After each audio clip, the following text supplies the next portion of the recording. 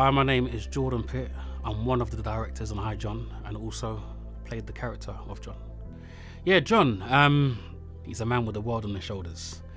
Stressed out at work, marital issues, and he made some really bad decisions. So now he's being made to pay for some of those bad decisions and things come to a head.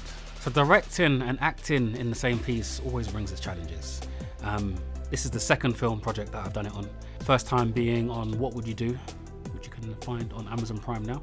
And this time it was a lot easier because I had the pleasure of working alongside Sinitta Monero, who directed with me.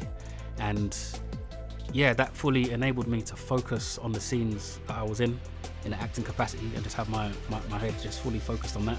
Yeah, the way it all came together, um, I met Tiara Luten through Diversity in Cannes Short Film Showcase.